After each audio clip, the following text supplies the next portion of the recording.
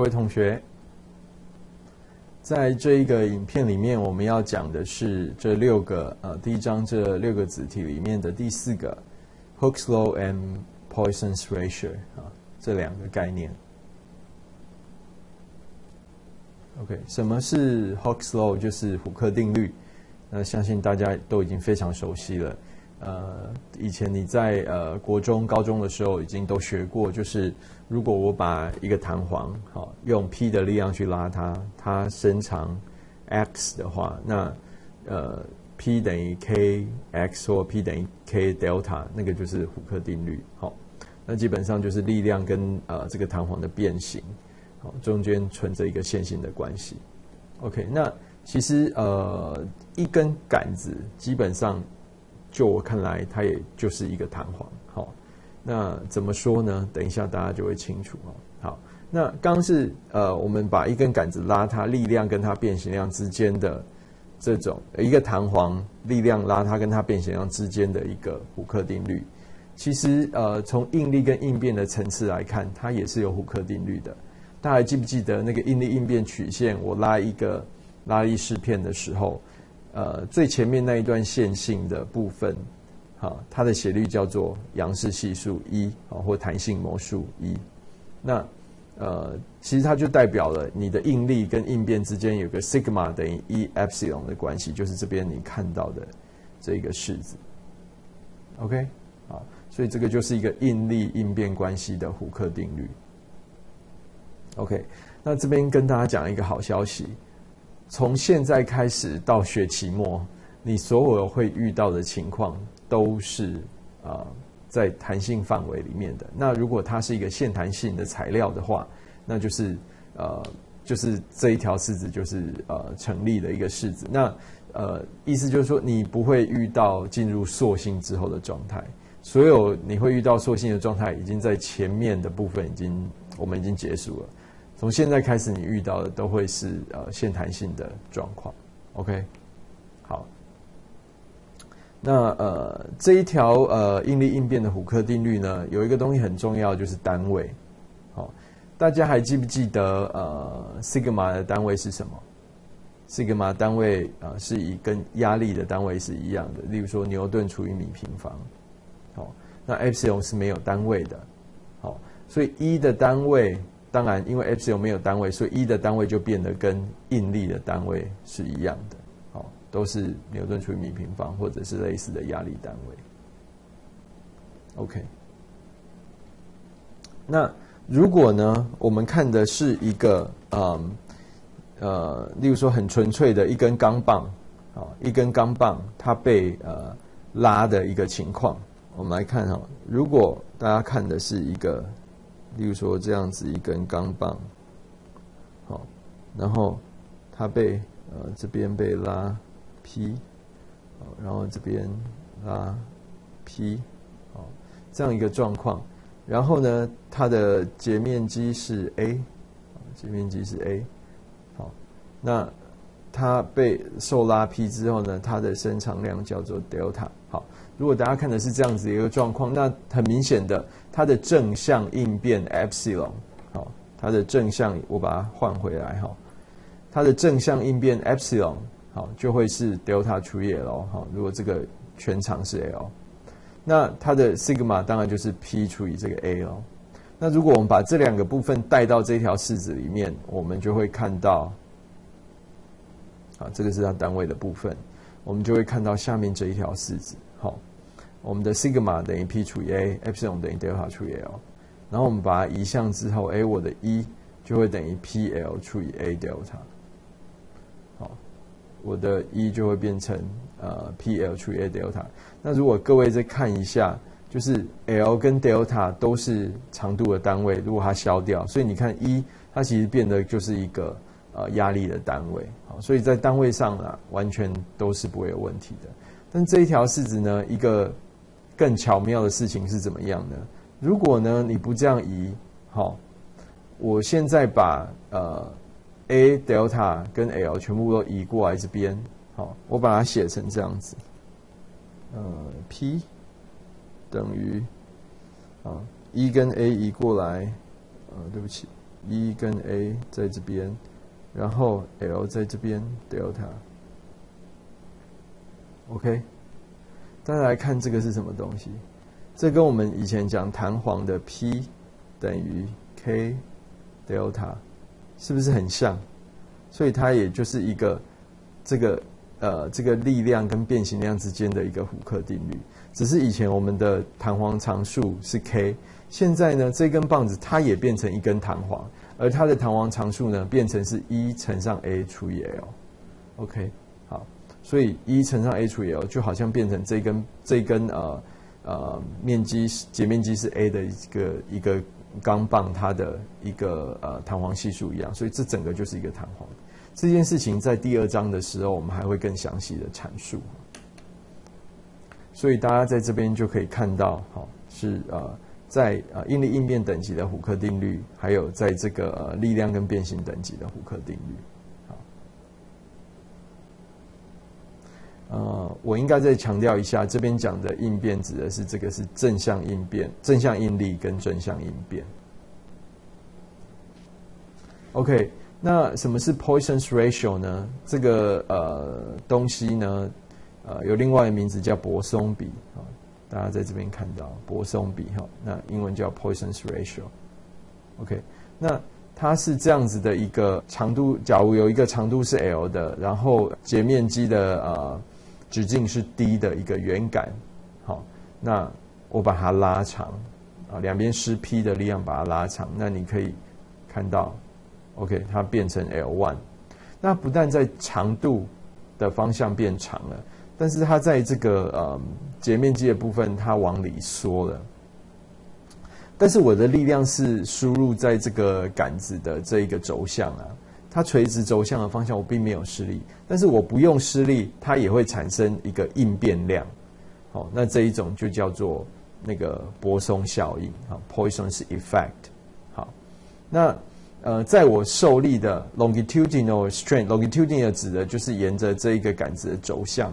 好，那这个轴向受力的，它这个轴向的应变呢，当然就是看我这个伸长量是多少。哈。就是把 L one 减掉 L，再除以我的 L，这个是我的那个轴那个轴向的这个应变。那纵向呢，我没有受到任何力，但是我也产生了一个应变。好，我的半径呢，从还没有受力之前的 d 呢缩进去变成 d one，所以我在纵向，好，纵向这一项的那个应变呢，就是把我的 d one 好变形后的减掉变形前的。好，这个长度，然后再除以我原原本呃原长是原本的直径是 d，好，所以这个叫做这个是在呃侧向的，好，侧向的它的应变，OK，好，所以轴向它是有受力的，它的应变叫 epsilon，侧向它是没有受力，但是它也产生了一个应变叫做 epsilon prime，那我们就把泊松比定义成 epsilon prime 除以 epsilon，好。然后呢，因为 epsilon prime 通常是负的，所以我们前面把它带一个负的，让我们的这一个比值呢，这个定义的这个 mu 呢，通常是一个正值，哈。那 mu 就是我们叫做 Poisson's ratio，就叫做泊松比。OK，好，那呃泊松比是正的，就代表 epsilon prime 是负的，就表示说你在轴向施力，它伸长，然后。呃，另外一项就会缩进去。OK，那呃，我们一般常见的物质，一般它的呃泊松比大概在点二五到点三五之间。有没有可能泊松比是负的呢？泊松比负的代表什么意思？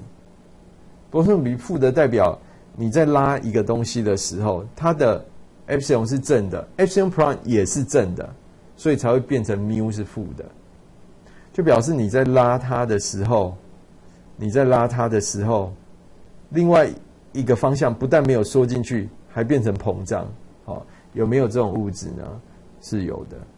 OK，也许呃，建议各位可以上网去搜寻看看，有什么物质它的呃 Poisson ratio 会是负值。OK，那通常不是一些天然的东西。OK。接下来呃，我们要讲呃这个最下面这一个概念叫 allowable stress，它是一个跟设计比较有关系的概念。那呃，在下一个影带里面，我们再回过头来再看啊，sharing 跟 bearing stress。好，容许应力的部分，什么是容许应力呢？这个是因为我们呃设计上面需要定义出来的。例如说，像我拉一根钢棒，假如应力应变曲线是这个大家现在看到的这个样子，那假如这个地方是它降伏的应变应力跟降伏的应力 sigma y，那我在设计的时候，我就假设这个东西，我可以去预估一下，它大概会承受到多少的载重。但是我的断面，呃，因为你知道我的断面的每一个，我一个杆子断面每一个地方受到的正向应力呢，是它受到的轴力在除以它的面积。那我如果可以把我的在相同的轴力下，如果我可以把我的面积变大一点，那它单位面积受到的。呃，力量也就是它应力就可以小一点，好，那所以我的断面积越大，我的应力就越小。但是这个材料它撑到 sigma y，它都还不会降服啊，好，更何况它降服之后还可以走很很远的一段应变。那我如果把我的呃，我如果预估我的嗯这个杆子的受力会是多少，我就可以去决定说我的这个 size 要多大，它才不会降服。那我如果再把它，呃，我如果一直把它设计这个面积抓到呢，刚刚好这个霹雳加下去的时候它就降服的话，那常常会不太安全，因为我没有我那个霹雳是我预估的，我不知道将来我这个东西摆出去之后，它真的会受到多大力，所以我要加一些安全系数。好，所以例如说我原本设计 P，也许我预估它大概就是会吃到一百公斤，那我就故意让我的这个断面呢。大到面积大到两百公斤，它才会降服。那我就说我对于降服这个断面降服有二的安全系数。所以呢，呃，你看这个 actual strength 除以 required strength 就是我的 factor of safety，就是我的安全系数。好，那这边 strength 指的是什么呢？strength 就是翻成强度。好，例如说我一根杆子，我拉到嗯，我拉到一百公斤。它就会被我拉断，那一百公斤就是它的强度。好，那我如果把我的面积增大，那可能我要拉到两百公斤，它才会断掉。那这时候两百公斤就是我的强度。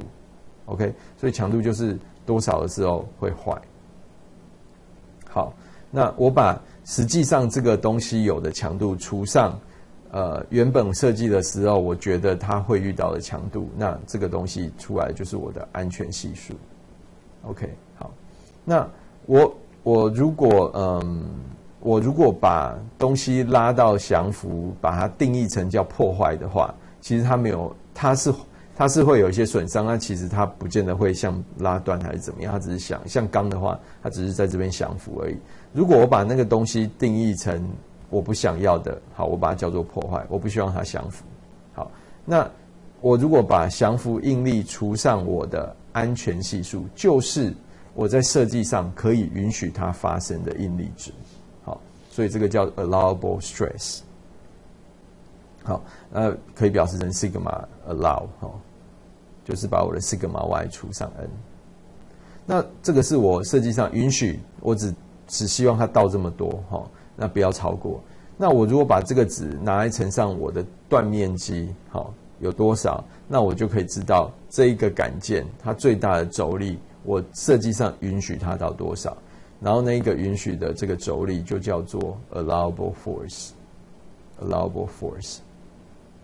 OK，我们来看一个例子，呃，我有这样子的一个长度是 L 的杆件，那这个杆件呢，它的断面是一个空心的正方形哈，然后边长是呃 A 啊，外径是 A，然后里面那一圈那个呃空心的地方的边长是 B。OK，它是一个空心的杆件，然后我我用 P 的力量加上去，P 的力量是两百五十 kps kips 这个单位大家要知道就是一千磅，好，一千磅，一磅等于零点四五四公斤，哈，那 kips 就是一千磅。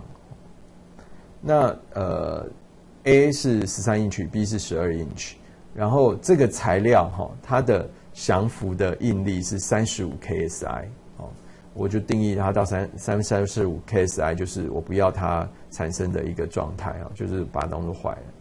那请问安全系数是多少？那这很简单，因为安全系数就是它最多最多可以吃到多少不会坏，然后除上它实际上吃到多少。OK，好，所以呃，你看安全系数，它最多最多能够吃到应力就是 sigma y 三十五 ksi，但是它实际上吃到的是 p 除以 a，好，p 除以 a 这个是它实际上吃到的应力，所以就两个相除就好了。那我把 a 翻上去，我这样算出来之后，哎，我的安全系数是三点五。那再他问你说，如果呢那个设计者他不希望安全系数是二，呃，对不起，不希望安全系数是三点五，他希望二就好了。那请问你这个 PD 最多可以加到多少？好，就 P allowable 是多少？那我想问你，它会比二两百五十 kips 大还是小？嗯，你应该一定答得出来，因为两百五十是对应到一个三点五的安全系数，它现在不要那么高的安全系数。它安全系数是二的话，那我 P allowable 应该是要比这个两百五十还要大，哦，它允许它可以再施加多一点力量，好，但是它安全系数就会小一点，所以要算 P allowable 也很简单，就是把 sigma allowable 乘上它的断面积，那 sigma 呃 sigma allowable 就是 sigma y 除以 n 哈，那呃它的呃 n 呃对不起，上面这边题目的地方写错了，应该是二点五，不是二哈。那你把它除上呃二点五的安全系数，然后你就会得出这个答案。OK，那我们下一个影片再见。最后这一页呢是一样是我们的版权标识。